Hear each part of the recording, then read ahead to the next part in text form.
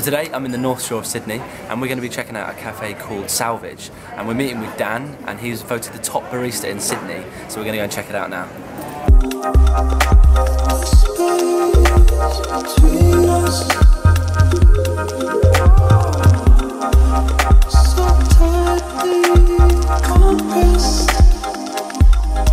So this is Dan and this is his cafe Salvage and we're going to talk a little bit about coffee.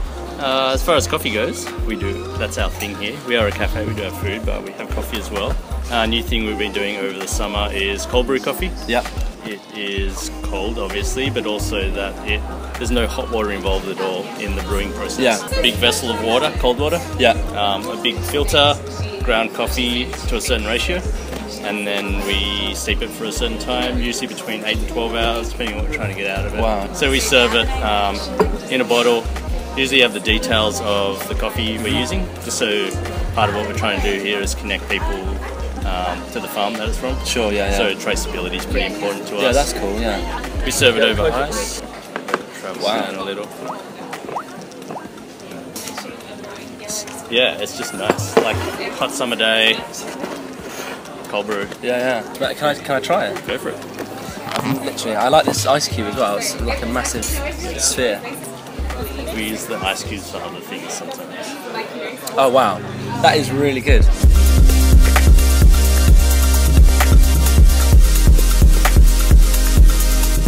Cool. So, what's the major difference between you know specialist coffee and your kind of commercial coffee? So, like your Starbucks and the big chains, kind of like that. Um, yeah, it's funny the Starbucks model didn't really work here. Yeah, yeah. But as far as the product itself, a big part of what we're trying to do here, being specialty coffee, is making what's differentiating between specialty coffee and commodity or commercial grade coffee, where um, you know it just comes in literally like a commodity, Yeah. um, as opposed to necessarily graded on a quality scale. Yeah. Um, and it's graded up to 100. Yeah. Um, generally, anything over 80, 82, depending on who you ask, um, is regarded as specialty coffee. Right.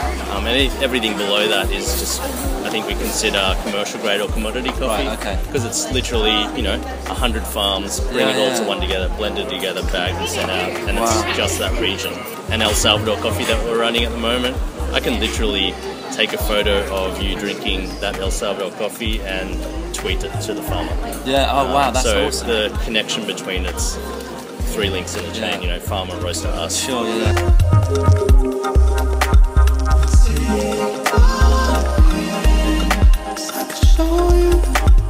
The Sydney Morning Herald voted you the top barista in Sydney. Now, how has that affected the popularity of Salvage, if, if any? Yeah, uh, a lot more than we thought. Um, I mean, when we first started it, we weren't looking to be a big company. It was Yeah. more just for an outlet where we could actually do what we wanted to do Sure, yeah, yeah, without going broke, really. Yeah. Um, so we could just do it, and if people loved what we did, that's cool. If they didn't, that's fine too. Yeah. Yeah, things caught on, and we got that award, which is really cool. Definitely within that week, um, yeah, business went up like 40% Oh, wow. within the week, which was kind of cool because I was actually in Santa Cruz in California, Yeah. and these guys were here and got So they're like, funny. phoning you up going, oh, it's crazy kind Yeah, of you thing. should Yeah. get back here. You know, Oh, on wow. holidays. That's know. amazing. So it's pretty funny. But I guess Yeah. the biggest thing, it's brought people here so we can actually um, educate people about sure. what we're trying to do Yeah. and what we're about, specialty coffee Yeah. and all that kind of stuff. That's been the best thing, Yeah. like the positive I think we've seen out of it. That's awesome.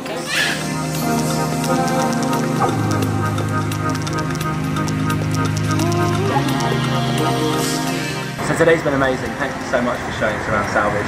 And if you guys are ever in Sydney, make sure you check it out. I'll link everything in the description below. And make sure you follow Dan on Twitter and check out what he's up to. And also I've done a blog post on Salvage, so make sure you go and check that out too.